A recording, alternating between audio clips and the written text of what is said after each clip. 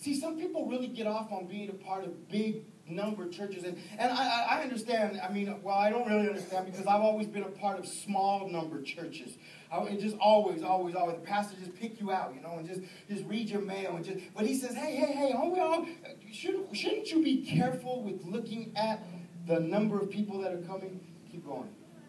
Why should he be a cause of guilt in Israel? Nevertheless, the king's word prevailed against Joab. Therefore, Joab departed and went throughout all Israel and came to Jerusalem. Then Joab gave the sum of all the number of the people of David. All Israel had one million one hundred thousand men who drew the sword, and Judah had four hundred and seventy thousand men wow. who drew the sword. Stop there. Look at all those numbers. Look at all those numbers of people, and yet God now is God now is rebuking David. Remember when David was had just his band of a few hundred?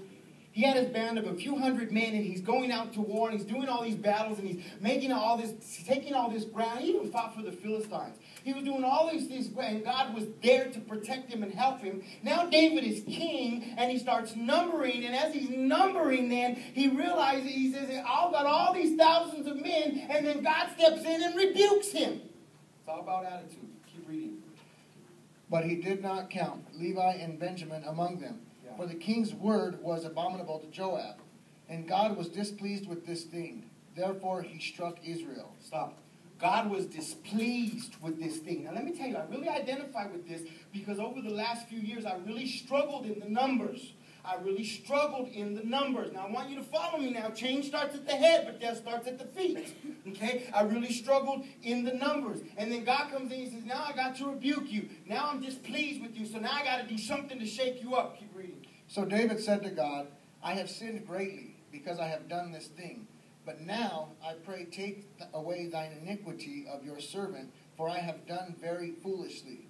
Then the Lord spoke to David's seer, saying, Go and tell David, saying, Thus says the Lord, I offer you three things. Choose one of them for yourself, that I may do it to you.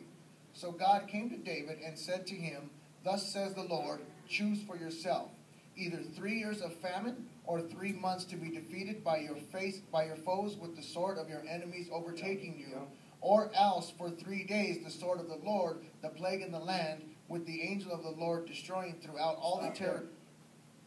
So then God comes and says, Now let me punish you. You think God don't punish me? You think that God don't come in and just shake my world up? Every time I make a mistake, God throw me in the corner. Every time I do something wrong, God just corrects me at the, at I mean, I do something wrong on a Wednesday and God catches me by Friday. Just catch me up. Just, what, what are you doing? My, my, my, my little behind is so tan red. Uh, but you know what? When you are a good when you're when you are a good student, when you're a good child, when you're a good, then you you receive the discipline. You enjoy the. You say, you know what, Lord, clean me out. Make me right. So then he said, so then he says, I'm going to do these things to you. And you know what? It hurt me so bad to lose numbers. It hurt me so bad to lose people. It hurts me so bad when people don't come back. It hurts me so bad when they promise they're coming and they don't come. It used to, it used to hurt me so bad. And God said, You're missing my point. You're, you're, you're so worried about those who didn't come that you're missing those who did come. Mm, talk to me, church. Talk to me. You're not realizing the quality of people that I've given you in short numbers because your mind is on something different. And he comes and he punishes. Okay, keep reading. Now consider what answer I should take back to him who sent me. 13. And David said to God, I am in great distress. Please let me fall into the hand of the Lord, for his mercies are very great, but do not let me fall into the hand of man. So the Lord sent a plague upon Israel, and 70,000 men of Israel fell. Listen, they died. 70,000 people died. Let me tell you what happened. You know what? Just, just you being disobedient can cause your whole family to be in pain. Your whole family can be hurt just because God called you and asked you to do something and you were disobedient and God does something to your family. God does something to my family. God does something to this church. God does every time. So I, got to, boom. He says, all right, let me, let me, let me show you. Okay, so keep reading. And God sent an angel to Jerusalem to destroy it. As he was destroying, the Lord looked and relented of the disaster and said to the angel who was destroying, It is enough. Now so, restrain your hand. Stop there. So the angel of the Lord was killing these people. Not the devil, Who do you think causes the storms in your life? Who do you think's in the clouds and the thunder and the lightning and the rain and in the waves? It's God, man. The Bible says that the devil does not touch you without God's permission. God uses the devil as a tool to come in and mess with your mind and your heart to get you back on course, to discipline you in disobedience. If he let you just go and do whatever you want to do, you wouldn't last two minutes. Now, uh, this is the word. This is the Bible. It's not my Bible. I didn't write that. I don't want your money. I don't want that. If it was my Bible, I would tell us all, let's go get drunk or let's go get high and we'll all go to heaven no matter what. Let's drive without insurance and out, without driver's license. I don't care. Let's do whatever feels good to our body. If I wrote a Bible, that's what it would be. Hey, let's all do whatever we want treat people however we want. But it's not my Bible. It's not my rule. And I'm under the same subjection that you are. And I want to be what God wants me to be. So I have to be obedient according to his rules. And his rules are that if you get off track and if you blink your eyes and turn the other way, I'm going to spank you until you're corrected. And the angel of the Lord stood by the threshing floor of Ornan the Jebusite then David lifted his eyes and saw the angel of the Lord standing between earth and heaven, having in his hand a drawn sword stretched out over Jerusalem. So David and the elders, clothed in sackcloth, fell on their faces. So David realizes he's sinned against God. And he realizes that it's God's angel that is destroying all these men with the sword. You know what? I would rather face the devil with God on my side than face God with no one on my side. Can you say amen? At least if I have to deal with the devil, if at least I have to deal with sickness, if at least I have to deal with bitterness, hatred, suicide, homicide, if I got to deal with those, at least I got God on my side to get me through. But the moment you disobey God and you got to face God all by yourself, you better know, you better know that nobody got your back. I would be like this. I'd be like, let's go. God wants you. I, yeah, I can whoop with you. I, I ain't never had any of my siblings ever say, I'll take it for you, brother. No way. I'll take it for you. I'll take it for you. No, okay, so keep reading. We're almost done. And David said to God, Was it not I who commanded the people to be numbered? I am the one who has sinned and done evil indeed. But these sheep, what have they done? Let your hand, I pray, O Lord my God, be against me and my father's house, but not against your people, that they should be plagued. Stop there. Wouldn't that be nice? Wouldn't that be nice that every time we messed up, that God didn't affect the whole, it didn't affect the whole family?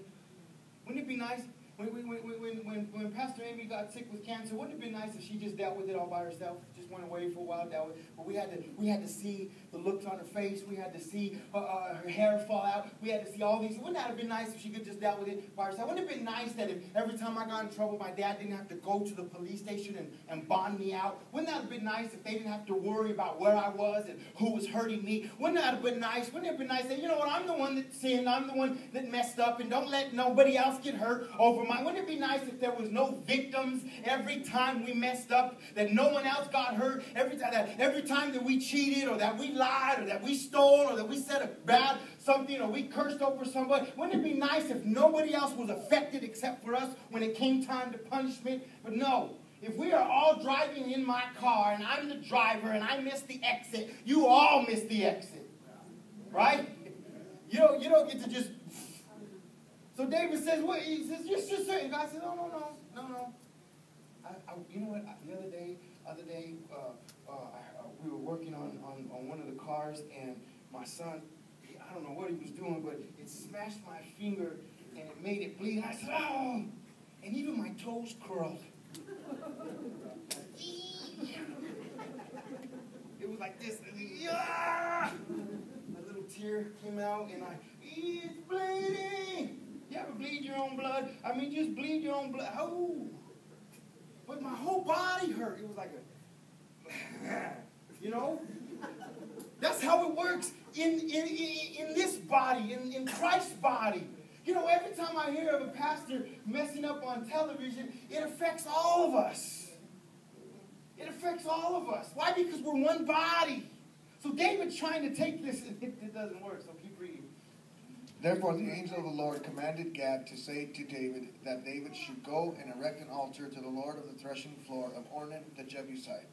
So David went up to the word of, went up at the word of God of Gad, which he had spoken in the name of the Lord. Now Ornan turned and saw the angel and his four sons who were with him and hid themselves. But Ornan continued threshing wheat. So David came to Ornan, and Ornan looked and saw David. And he went out from the threshing floor and bowed before David with his face to the ground. Yep. Then David said to Ornan, Grant me the place of this threshing floor, that I may build an altar on it to the Lord. You shall grant it to me at the full price, that may that the plague may be withdrawn. Granted from to the me at the full price that the plague may be lifted. Keep reading. But Ornan said to David, Take it to yourself, and let thy lord the king do what is good in his eyes. Look, I also give you the oxen for burnt offerings. Stop right there. Ornan says, don't buy it from. David says, I want to buy this threshing floor from you. And I want to pay full price for it. And Ornan says, no, no, no. He says, I'll give it to you. And not only will I give it to you, but I'll give you the animals to sacrifice upon the altar. And David says, no. So keep reading. David says, no, I don't want it for free. The threshing implements for wood, and the wheat for the grain offering, I give it all. Then David said to Ornan, No, but I will surely buy it for the full price, for I will not take what is yours for the Lord, nor offer burnt offerings with that which costs me nothing. Stop there. I will not offer God something that does not cost me anything. God always wants something from us. Now, if we were not in a money society, if we were not in a, in a now, if they, uh, you know what, you know, if my landlord would, would say, you know what, listen, you don't have the money today, give me a word of prophecy, and I'll let you live there for another month. I would be like. I'd be like, thus say the Lord. I, you know, I'd be, I'd be like sweating, playing hands on it. I'd be like, in the name of Jesus, put your, put your kids on the phone, and Jesus, I'm gonna bless them too. But he don't want, he don't want my word. And it's but the moment that I pay my rent and I pay it on time, then I could call him and say, by the way, the kitchen sink don't work right. By the way, you got to come and fix the sprinkler system. By the way, the garage, because now it's giving me an authority. It's putting me on a level because it cost me something. It wasn't given to me. Has anybody ever gave you something and it didn't work and then you're like, oh, what do you do? Give it back? No. You feel you feel obligated. You feel like, oh. Uh, you give, give you a microwave and it don't work. You'd be like, hey, you better bring me back a working microwave. You gave me one that don't work. No, you just you're just appreciative for the thought. And but you go to Target and you buy one and it don't work, but you put your money on the table, you be like, excuse me, Target, you better give me a new one. As a matter of fact, I might not even take that. You give me my money back, I'll go buy Walmart. right? When you give something to God and it costs you something, it connects you to Him closer because it's a sacrifice. And God moves in sacrifices. He don't move in dead. So don't bring God, don't bring God something dead. He said in His Word, don't bring me no dead animal. Bring me a live, kicking, screaming animal. Give me an animal that's trying to run away. Don't give me one that is, is blind or that is crippled or can't or is lame. Don't bring me none of that. Bring me something good. Bring me a moving one, a yelling one, a stomping one, a dancing one, a crying one, a moving one. Because when I lay it on the altar and it costs you something and it's alive and it means something, whoa, look out for God bless you. I finished reading. David refuses. So David gave Ornan 600 shekels of gold by weight for the place. And David built there an altar to the Lord and offered burnt offerings and peace offerings and called on the Lord, and he answered him from heaven by fire on the altar of burnt offering. So the Lord commanded the angel and returned his First off, sword stop to there. its First sheath. off, first off, the Lord accepts his offering. The Lord accepts his sacrifice. The Lord accepts what he is giving to him.